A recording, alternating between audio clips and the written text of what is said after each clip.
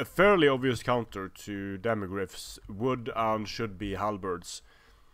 The thing halberds are not in a sort of a phalanx formation anymore, which um, uh, uh, sort of sort of annoying uh, because it would be really nice to see halberds poking out at these uh, these demigryphs riding in. Also makes sense, bracing against the impact of a cavalry charge. However, what we've done here is we've set up some uh, Chaos Warriors with halberds, facing in different directions. So uh, this would be the weapon flank exposed, this would be head on, uh, this is head on in a denser formation, and this is back turned. So we'll see how the Demigryph Knights do when charging into the halberds here. These are Demigryph Knights with halberds, so they uh, they have the bonus versus large. And this is this is just because the the halberd Demigryph Knights have seen a lot of use. They've been very popular. Um, being the only cavalry that can tackle or the best cavalry at tackling large, tackling monsters, tackling other cavalry units. So we'll see what happens when they charge the front, flank and rear of the halberds. So you can see the halberds are not bracing, they're actually chopping at the Demigryph Knights as they go in, so not not not that good. Uh, the Chaos Warriors are dropping slightly, but you can see the Demigryphs are also losing health. Keep a close eye on this engagement here though. Uh, this this is a very peculiar engagement. Because what happens? The Demigryph Knights rear charge the Chaos Warriors with halberds. And they, they um, starting to drop, starting to drop relatively quickly. And what's going on here? They're getting surrounded. Um, let's see over here. The 44 Chaos Warriors with halberds left.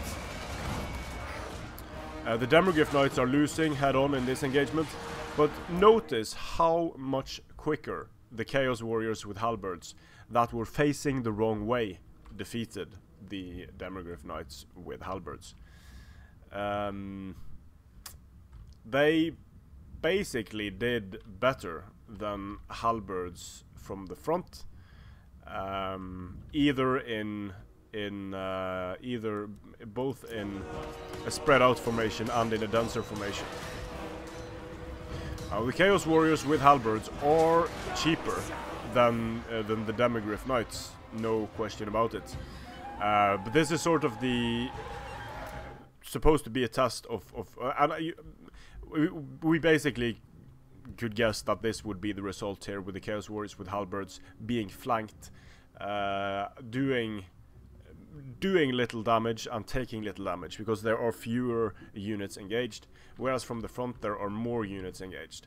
Now, what seemed to be happening here was that the overpenetration of the of the Demigryph Knights uh, made them made them surrounded and allowed a lot of these Chaos Warriors with halberds, enabled a lot of them to to be able to strike at the at the Demigryph Knights at once.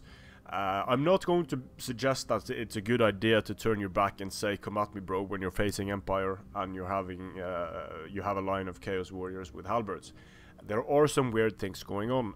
After this test, we tried to replicate this to find out whether it would indeed be much better to just turn your back than to take the charge head on. Uh, and it wasn't. Uh, in most cases, it, it isn't. It depends on penetration. It depends on uh, it depends on um, terrain.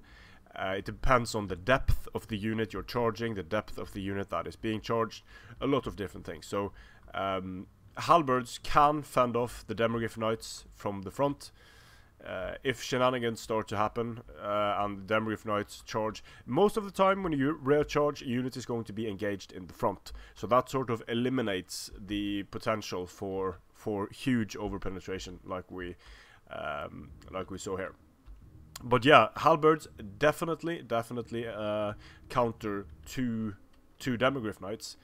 Um, the halberds are not en not entirely terrible against against infantry either because of their uh, their armor piercing values. But uh, Demigryph Knights not invincible, and Tagmata were not invincible either. There were several uh, spare units and pike units able to take them head on.